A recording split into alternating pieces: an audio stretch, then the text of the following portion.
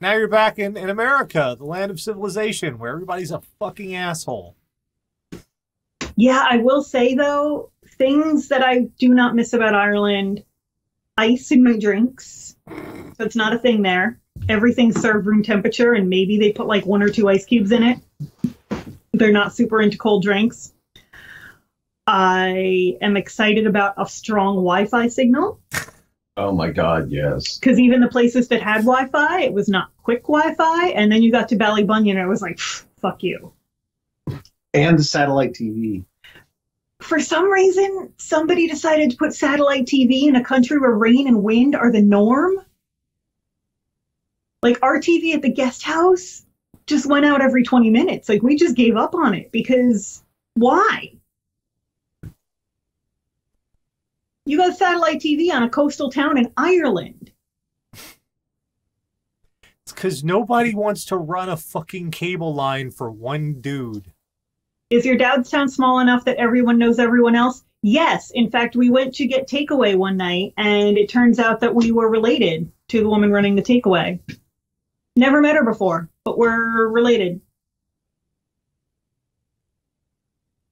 So, yes, it is that small. Okay, intro time. Each week, Catherine, Radio Dead Air audience, go out in the worldwide interwebs, find all sorts of horrible stuff. Bring it back here for a little segment we like to call What the Fuck is Wrong with You? And I, our last story tonight, I'm not, I'm just, you're going to get lulled into a false sense of security, kids. I'm warning you. If you're watching this on the recording, if you're watching this live, um, you're going to get lulled in. So don't get comfy, all right? Don't get comfy thinking everything's going to be fine because it's not going to be fine. Nothing's going to be fine. Everything's going to be fine. you guys. Everything's going to be fine. Let's start with Louisiana. Um, they're, they're one of the, the, the problems of doing contract work, especially when it comes to repairs and such, is if you don't get paid for your work, you're kind of fucked. Yeah. You have little recourse. Didn't stop this dude from taking the worst possible option. Louisiana roofer arrested after taking back roof. Oh. You know, I think that's fair. you don't pay for your roof, I take your roof back. I don't. Monroe, Louisiana. Louisiana roofer faces misdemeanor charges after repossessing a roof because he hadn't been paid. How do you repossess a fucking roof? You tear that motherfucker off. Authorities arrested 66 year old Andrew Jackson Higdon Third. All right, now That's a name. they named him after the that that Right. president. They named Two people did that beforehand. yeah.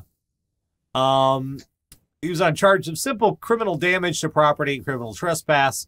Higdon was freed after posting $4,500 bond. The arrest warrant says uh, deputy responded to a property damage complaint. The victim says Higdon verbally agreed to replace her roof in June and wait for payment until her insurance issued a check. The victim says Higdon started asking for payment around mid December. She said she could partially pay, but he wanted the full amount. She says he told her if she didn't pay, he would take the roof and her house would be damaged when it rained. All right, that's kind of dickish. The guy's a bit of a dick. Yeah. I It's- mean, he's living up to the name. Yeah. He even looks a little like the guy. He does. He look he's got a little bit of that Andrew Jackson going on. Look, th- th- there's a reason that handymen don't do this. And the reason is if you go and smash up something you built, you're not getting any money out of smashing the thing. You can't resell that roof. yeah. And now you have a bad reputation. Yes, because now everybody is going to know that that's some Angie's List shit right there. Your Yelp review is going to be like, uh, good work, sturdy, reliable. Then he took it back Until he tore it down. until he tore it down. This is, I just, Dan was really fascinated in Ireland by the thatched roof cottages. We went to the folk park, and that's the kind of house my dad grew up in. So he found those really interesting. Literally, he did. I did. That that just seems like a recipe for fire. No, because it's all everything's always wet. Point. It rains all the time. It rains every day. Point. So Point. and that, but they they they layer the thatch so thick that the rain doesn't get in. But all the houses are stone as well. So fire's not a problem. Ah. Well, next up, it's Florida, so welcome back. Um, DeFuniak Springs, Florida. That's that's a fun one to say. You know, there are th- when it comes to police, I go out of my way to avoid taunting those motherfuckers at Yeah. any given turn. That I don't I couldn't imagine why someone would. And you know what? I bet this guy is wondering why he did too. Come and get me. DeFuniak Springs man arrested after doing donuts in front of deputy with beer in hand. Really? A man who taunted deputies on his four wheeler with a beer in hand is now in cuff- custody. You don't say. You don't say.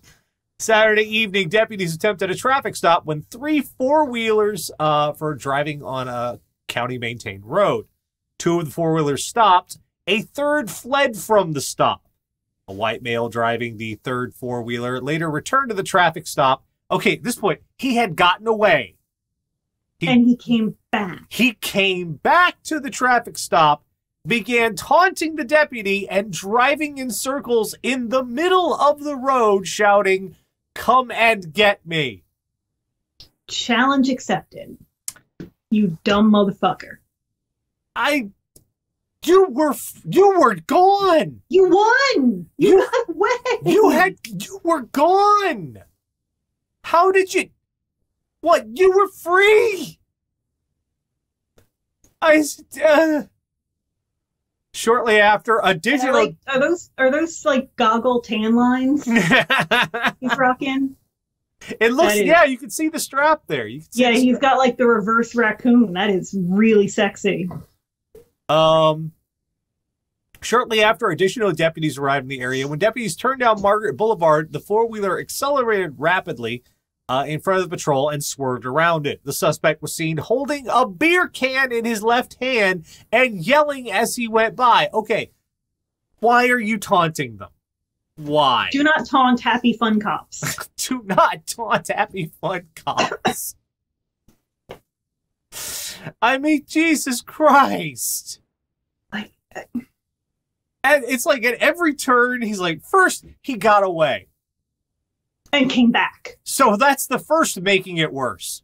Second, he does the donuts in the road and screams, come and get me. So that's Her, her, you can't catch me. Her, her, her, her. And then, as they they are catching his ass, he's screaming at them with a beer can. Every making it worse. He took all of the making it worse. I bet it was shitty beer too. I'll take making it worse for a thousand, Alex. oh, look, it's the daily fucking double. Yeah. And you bet it all. You and and you ro- You got away. didn't even answer in the form of a question. You won. You won. Why would you come back? Why would you come back? I mean, I guess good loyalty to your friends. But what were you going to fucking? You know what you would have accomplished better? Bail, being out of jail so you could bail them out later. Or were they even getting arrested? It was just a traffic stop. Like they were going to get a ticket. Well, now they're they're going to jail. Right. Bless your heart.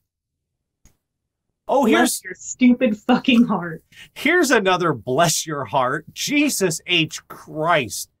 Um, this comes from South Carolina. Yeah, we've got these fucking monsters in South Carolina too. We've got them all along the coast. The, the when you live among prehistoric fucking beasts that are killing machines. Why in God's name would you fucking do this? South Carolina Resort says throwing carrots at a gator, new level of stupid. Yeah. Fripp Island, South Carolina. Officials at a South Carolina resort are looking for the people who harassed an 11 foot alligator by throwing Jesus. carrots at him. Why? The uh, packet, uh, the island packet, Hilton Head reports that Fripp Island naturalist Jessica Miller says the people were lucky because the large animal didn't respond and slid back in the water. Facebook post says Fripp Island has a description of the people who threw the carrots. The fine is two hundred dollars per carrot thrown. You see, you're it's illegal to taunt alligators.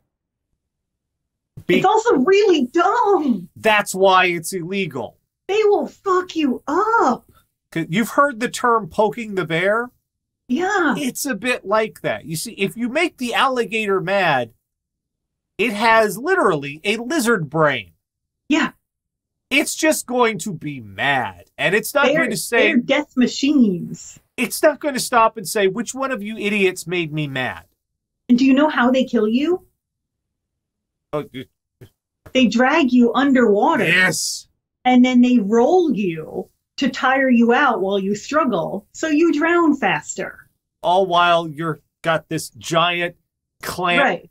You, uh, th- But this- they drag you underwater to the bottom and then they roll you to encourage you to struggle so you tire out faster Yeah. and die. the PSI on alligator jaws is insane. You can keep the, the here's a funny little fa- here's some hey nature channel shit about alligators. You can keep their mouths closed incredibly easily. A standard rubber band, just a Yeah. regular rubber band, you can keep an alligator's mouth closed.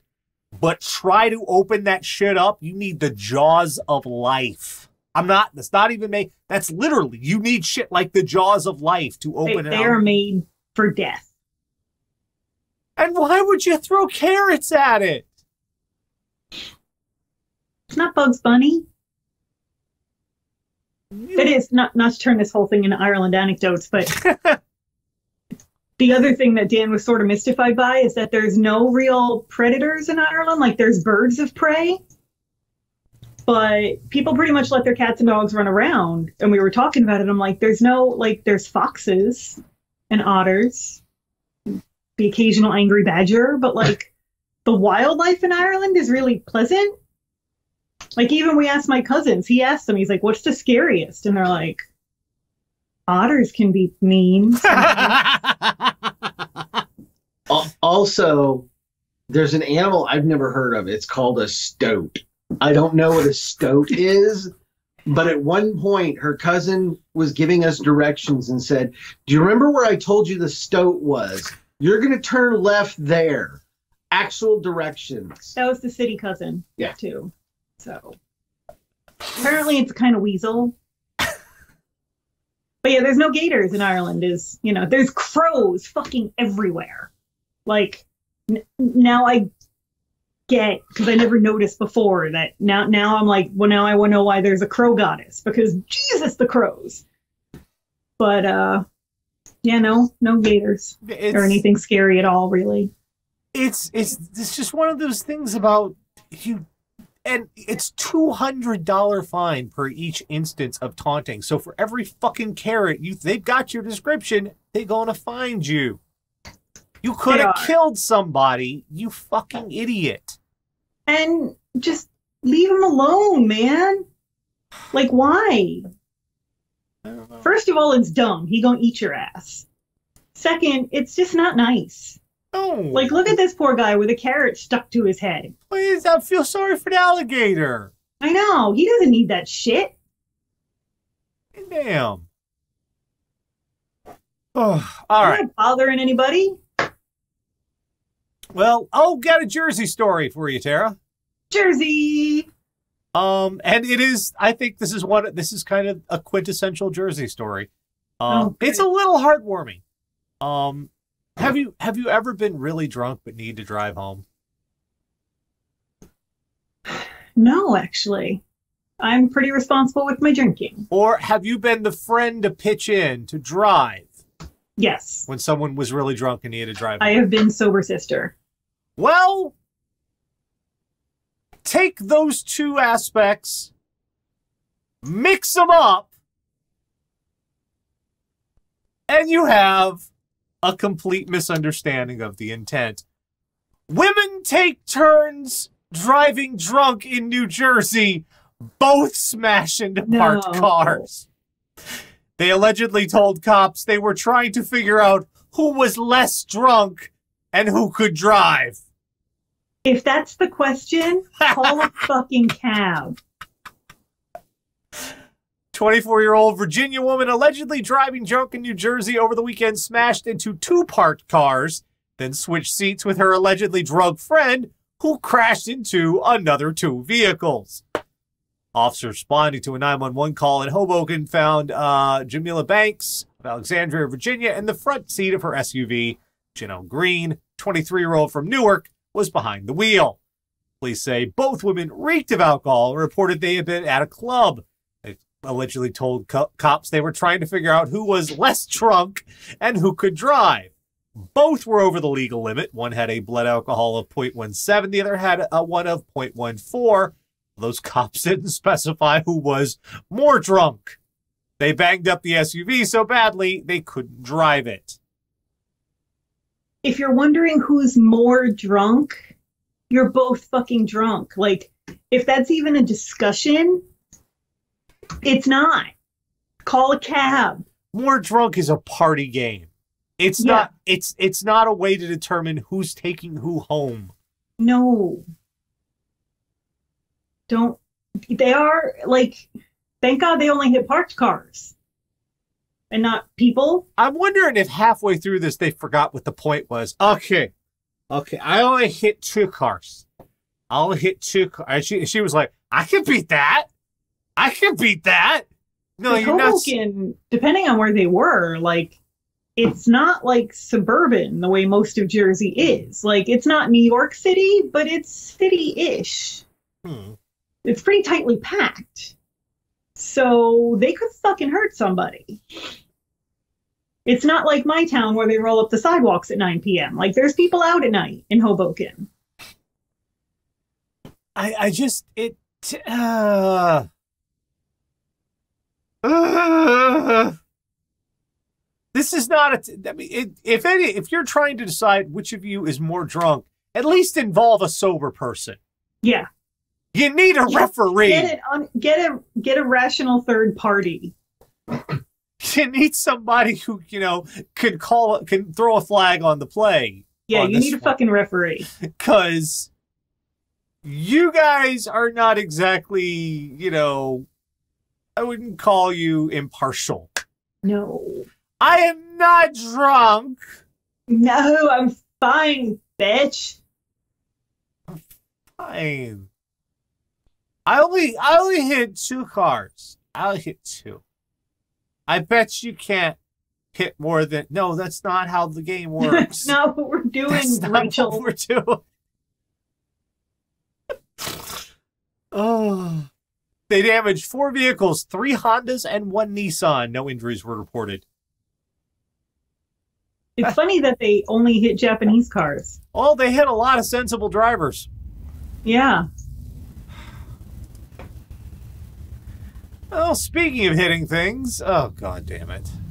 It's one of these again. Who's got the scoreboard? God damn it.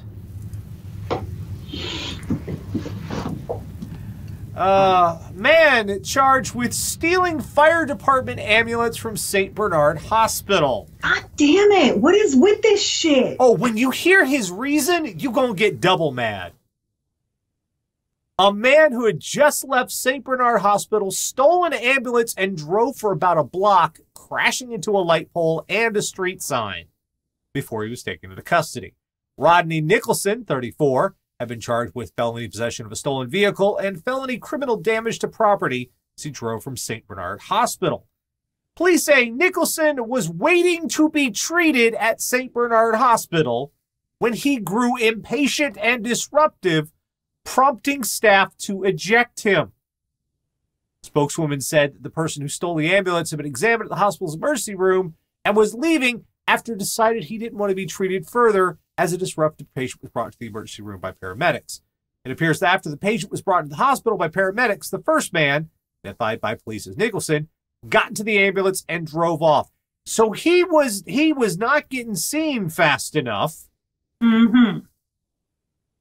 and he stole the ambulance. Why? Were you going to go to a better hospital? If you're well enough to run out and steal the fucking ambulance, your shit might not be an emergency. Yes. That's Now I say that it's possible he was there because he's uninsured and the emergency room is the only place he could get care. That is possible. But that doesn't make you not a dick. Yeah. And and the emergency room they have they they kind of do triage. They have to prioritize who comes in. Right. And I'm sorry, the guy with the staple gun attached to his head, gushing blood. You know, the the the, the person who's got like you know half their arm is gone. Um, they take priority over you. Yeah. And I know some people have to. The way our fucking health system is, like Tara said, some people have to use the ER for their health care. But that's not exactly a that's not a guarantee because it's emergency room. If you're there because you have a cold and you just can't go anywhere else, it's not an emergency compared to the nine year old that fell down the stairs and split his skull open. So yeah, Like my ex husband was super prone to kidney stones, and we spent a long time waiting in the ER a few times because all they're going to do is give you painkillers and tell you to wait. And they can do that any old time. The and not only did this motherfucker be like, I'm just gonna go someplace else. He crashed the goddamn ambulance. Which means somebody else, by the way, isn't getting the help they need that night. Nope.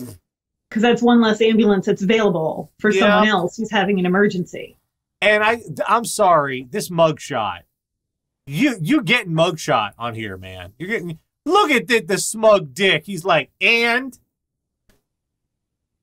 yeah, I did it. And well, Well, jail will see you very promptly. you, that is that just got an asshole sure, you'll expression. find their service very efficient. that is an asshole expression. I that, that is that is almost the DreamWorks face. Do you know about this? No. Oh, like on every single one of their posters, every DreamWorks film is an animal making this face. I have not noticed that. It's like, look, Boss Baby, Boss Baby making that fucking face of the fucking DreamWorks movie. It's a DreamWorks face. Anyway, okay, I promised you cringe. Uh, Normally, I indicate a certain set of genitals for which to cross your legs, um, depending. This one, I think this is going to hurt everybody equally, no matter what set of genitals you have. My favorite kind. No, you're, you no Tara. You're you're celebrating. You shouldn't. Um, It's been two weeks off. What can hurt me? I'm gonna let you digest it a second. What can hurt me? She says. Wow. Doctors pull a three foot long phone cable from a man's penis Wow. to relieve the itchiness. That is. That must have been some incredible gonorrhea. Like, like what? I'm a redhead, so I'm always itchy. I don't know if you guys know this about redheads, but we don't have real skin. We have like, you know, Velveeta is cheese food. We have like skin food. It's like skin, but it's not really skin. So we're pretty much always fucking itchy somewhere. And there are nights I don't sleep. Like at least once a month, there's a night when I don't sleep. I just stay up till like 6 a.m. ripping the skin off my legs because I can't stop the itching. And I have never, ever been this itchy. I've had an inch and a half deep hole in my leg that had to heal from the bottom up. That itches. I've never been itchy enough to jam three feet of anything anywhere in me. Chinese doctor successfully removed a three foot long phone cable from a pensioner using laser technology. The man, said to be in his 60s, thought of inserting a cable to stop itchiness in the urethra caused by uh, prostatitis, an inflammation of the prostate. Mm, I had an ex boyfriend that had that. That's no fun. However, the cable tied a knot in the bladder How? and caused bleeding See? when the man tried to pull it you out. drop your fucking headphones and they're in a knot themselves. Those fuckers are sentient. They're little AIs and they just tie themselves in knots just to fuck with us. According to That's proof. According to Kankan News, the unnamed pensioner inserted a one meter long phone charging cable into his penis to relieve the itchiness. He was rushed to a hot to uh, the Lane Hospital on March 30th, sought medical help.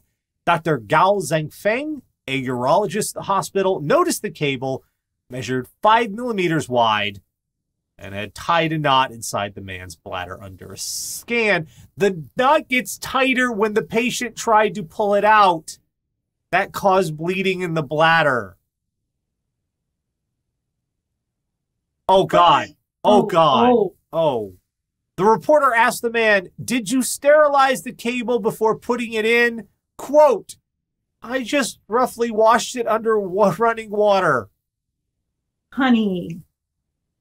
Do you think that's going to make your infection better? Jesus. Because it's it's it's not. It's not. It's going to make it so much worse. Like that's. I kind of respect that because I've been I've been itchy enough that I have literally scratched myself to bleeding. I've been itchy enough that I have taken boar boar's hair hairbrushes to my skin until I bled. I have never been itchy enough to jam three feet of something inside my body. All of you in the channel, all of you, I warned your asses. I fuck you're all you're all sad now. I warned you. You were warned when we started tonight. Tom, I kind of respect it. Tom says if my dick could get PTSD, this is when it would get it. Like when I had that hole in my leg, there were days I thought about just taking a mascara brush and going to work in there. Yeah, but that okay, okay, okay. That's one. That's a hole in your leg, which is an entirely different thing. This is your penis. I, I mean, I don't have one of those. I imagine that would not be fun. Okay, but it's the urethra, which in just about every instance, male or female, the urethra is one-way traffic only. Generally, yes. Unless you're into certain kinks, which is fine. But But you know, sterilize that shit. you, you you know, consult a professional. Use the right tool for the job and sterilize it. Shoving shit up your urethra is is not for amateurs. No. And and don't there there aren't YouTube videos that'll teach you how. There aren't. But they make special rods for that. They're not three feet long because Jesus. Ah, just the the, the he But got just imagine sitting there and like just feeding it in. And that couldn't have been easy. Like, did was there something on the end? Because like, have you ever lost the string in your hoodie?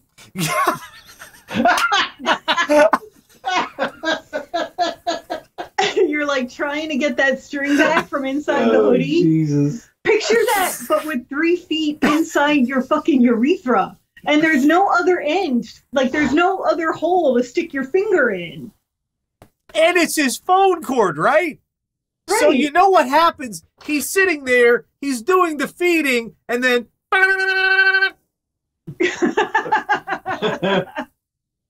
oh come on, man.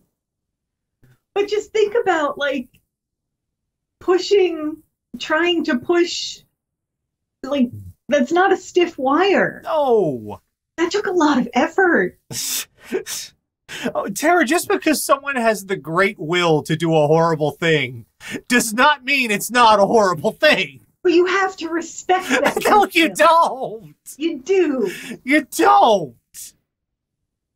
I think you do. You don't. I mean, I think after what he's been through, he deserves a bit of grudging respect for going through that much effort just to scratch an itch inside his person. That's one of the stupidest. You go to the doctor. Just take the antibiotics, man. Go to the fucking doctor. I mean, Like I said, I had an ex that had prostatitis. It's not fun. It happens. It happens. It's just a thing that can happen to you, like like strep throat or pink eye. Like it's just a thing you can get, go to the happens. doctor. and it's not fun. Go- But you deal with it. Oh. And anyway, like what would wouldn't the better route to your prostate be the other way? Ugh. Like they don't check your prostate at the doctor by sticking their finger up your dick, as I'm aware. So you were ringing the wrong bell anyway. Yes, the, first thing we've learned is just because someone has the will to do an incredibly, incredibly stupid thing doesn't mean it's a good thing. I'm not saying it's a good thing. I'm saying he deserves a little bit of respect. I for- don't respect that. I mean, that's hardcore. You're, you've got a fucking USB dongle flopping out of your dong. I'm not respecting that. I could plug your ass into my laptop. I'm not respecting that. Well, like, did he put a safety pin on the other end? Like, if you're trying to restring your hoodie? how? I'm really curious how he managed it, to be honest with you. Oh. We have learned that just because the service at your ER is a little little slow doesn't mean the ambulances are self-serve. No, It's not a fucking ride and share. doesn't become a buffet. We've learned if you have to have it have to fig- try to figure out which of the two of you is more drunk, the answer is yes. Yeah, the answer is both. Get an Uber and deal with it. This is one of the stupidest things I've ever had to say. We've learned don't throw carrots at alligators. We should, like, I wish all this time we've been keeping track of sentences we never thought we'd have to say. But became somehow relevant. Like, we play the weirdest game of Mad Libs every week. Christ. If you we've learned if you tell the police come and get me, they will. They will. They They will that. actually will. It's it's they they will get you. That's the rare occasion on which they will take requests. And finally, uh, we've learned if you're a contractor, um, the phrase you need to, to remember is payment up front, not I'm going to take your roof Small back. claims court. Small claims court. Yeah, not um, I'm going to take the roof back. It doesn't work that way. That's that's a dick move. That's It's- not cool. It's not like it's not like Walmart. You can't exchange it for another roof. Not a nice thing to do to somebody. Uh,